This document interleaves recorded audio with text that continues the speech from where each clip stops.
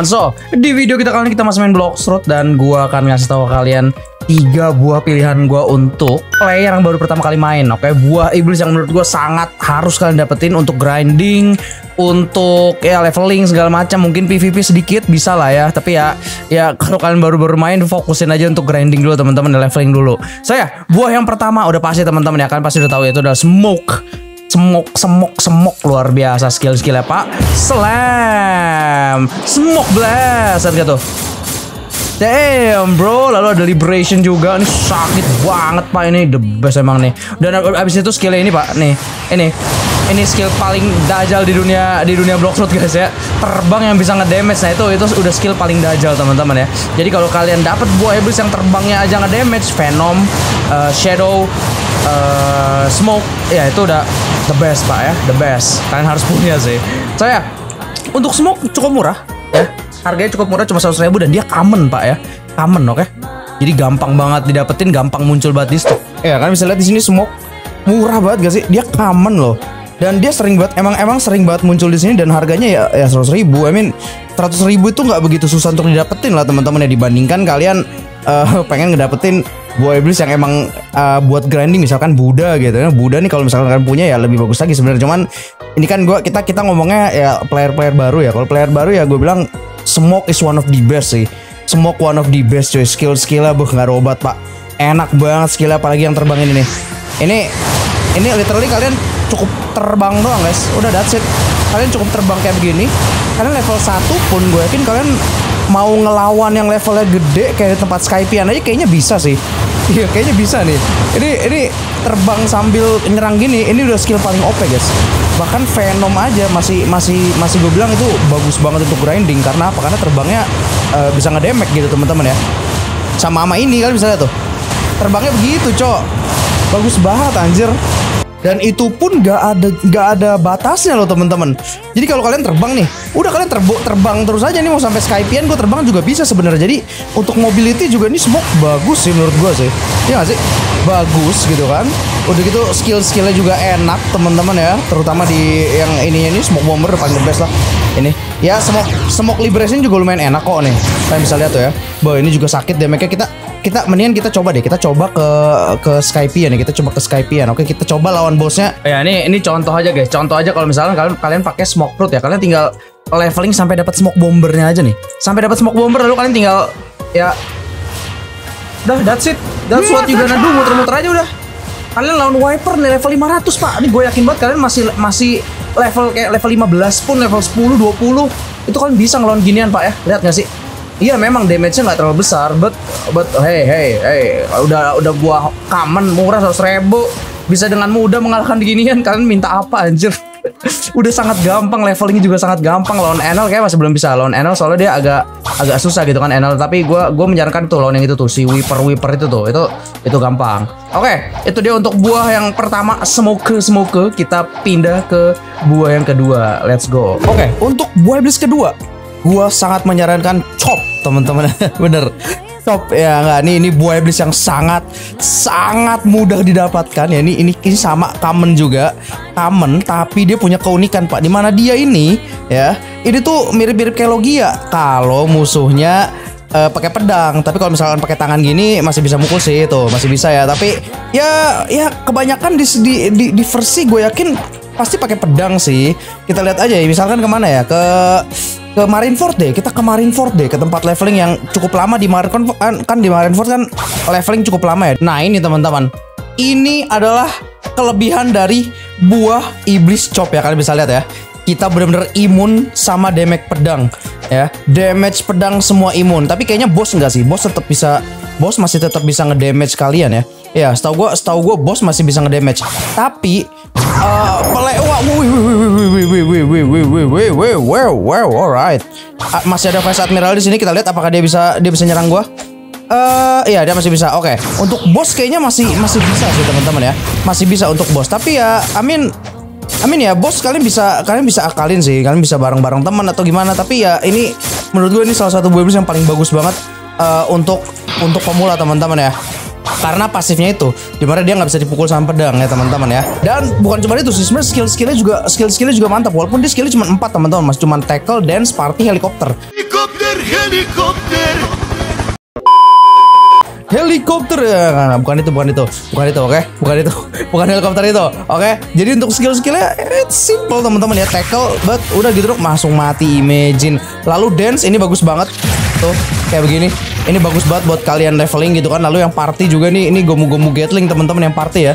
Jadi kalian bisa langsung party itu gomu-gomu gatling gitu dan itu bagus banget untuk farming teman-teman. Dan ada skill mobility juga helikopter. Ya jadi ya it's okay lah ya. Nggak nggak jelek-jelek banget gitu kan teman-teman ya. Karena masih bisa nyerang ya kan?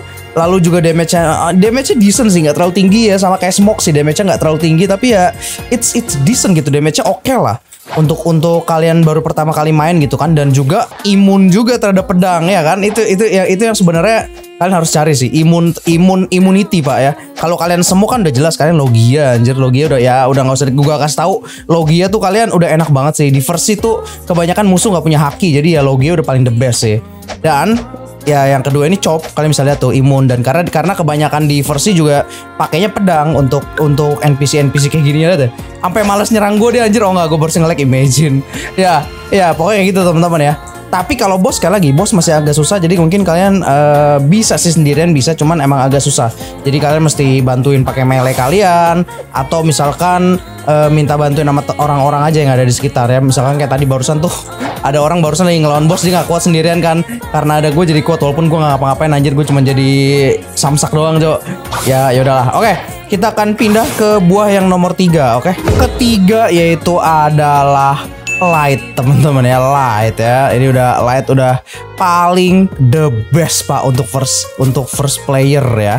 Kalau kalian bisa dapetin light oke? Makanya ini gue taruh di posisi ketiga. Walaupun ini buah paling recommended untuk player baru tapi tetap aja dia ini lumayan susah untuk dapetnya teman-teman ya. Karena dia udah masuknya ke rare pak ya. Rare. Jadi udah udah cukup langka. Rare itu udah cukup langka. Dan harganya pun di di Blockshot Dealer itu ya bisa dibilang lumayan mahal lah untuk first player ya. Masih di atas 500 ribu setahu gue ya. Masih di atas 500 ribu. Gue lupa harganya berapa yang pasti. Tapi yang pasti lumayan mahal untuk first player. Gue yakin bakal agak susah untuk dapetinnya. Tapi kalau kalian bisa farming, misalnya kalian udah dapet smoke nih, kalian dapat smoke lalu kalian uh, farming atau misalkan kalian pakai chop lalu kalian farming terus kalian kekumpul duitnya dan dia muncul di Blockshot Dealer gue sangat menyarankan kalian beli light sih. Ya light ini salah satu terbaik pak.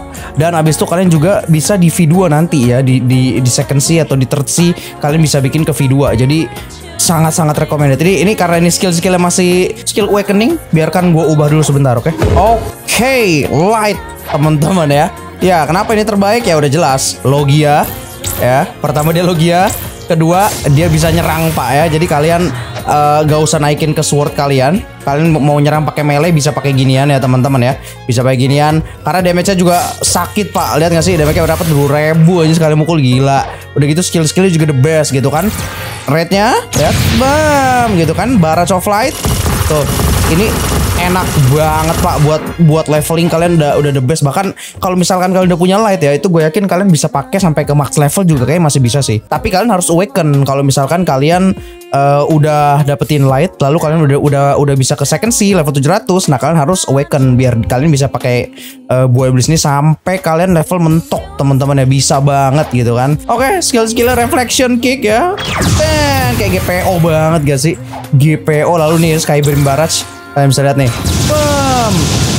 Ini the best banget itu pak. Buat farming enak banget. Udah gitu terbangnya kencang cuman ya sekali lagi nggak bisa belok terbangnya teman-teman. Nggak kayak chop yang kayak tadi ya.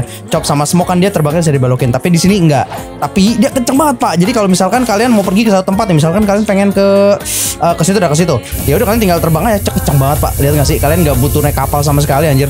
Kenceng banget pak ini. Makanya gue sangat recommended sampai kalian level mentok pun ini kalian bisa pakai. Karena untuk mobility udah the best damage-nya juga udah gede high damage teman-teman ya udah di atasnya smoke di atasnya chop jelas saya karena dia rare kan. Gue bisa rare. Emang agak susah juga dapetnya sih. Dan ya, udah paling udah paling the best sih untuk leveling. Tapi sebenarnya satu lagi kalau kalian bisa dapetin teman-teman ya. Cuman ini agak jauh lebih susah daripada light dapetin ini yaitu adalah Buddha. Ya itu udah udah ultimate. ini ini ini udah ultimate cuman dia legendary masuk ya teman-teman jadi emang agak susah banget untuk dapetin ini bukan agak lagi sih susah banget nggak nggak gampang untuk dapetin Buddha dan Buddha ini harganya mahal banget di trading. Jadi kalau misalkan kalian nemu Buddha eh itu sebenarnya kalian bisa tradingin, kalian simpen buat trading nanti atau ya kalian bisa pakai untuk grinding. Kalau misalkan kalian udah udah punya eh buah iblis bu- udah untuk untuk grinding kalau misalkan light gitu kan, gue lebih menyarankan kalian tahan dulu si Buddha karena ini Buddha harganya mahal banget di trading. Kalian literally bisa bisa nuker misalkan sama eh, apa gitu ya, yang yang yang yang di atasnya di atasnya legendary gitu pak, macam-macam kayak kontrol gini-gini teman-teman ya. Ini kalian bisa beli dengan Buddha anjir, the best banget pak. Cuman ya sekali lagi ada tambahan lagi, cuma Buddha aja itu harganya tinggi banget.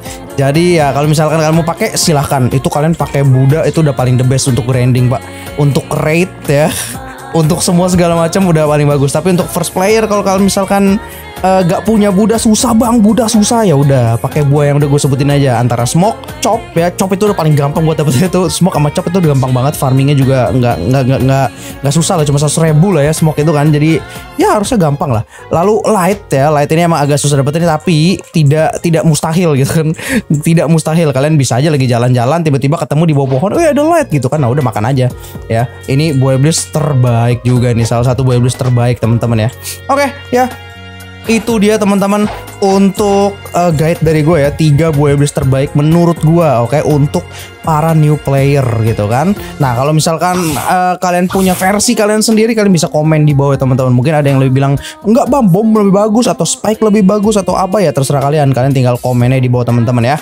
Kita akan uh, lihat nanti di komen oke? Kalau misalkan ada yang bagus dengan alasannya bagus mungkin tak akan gue pin nanti. So ya itu ya teman-teman untuk video kita kali ini. Thank you buat kalian semua nonton. Dari sampai akhir. Like jangan suka dislike kalau nggak suka subscribe mau nggak suka kita ketemu lagi teman-teman di video berikutnya. Bye bye ciao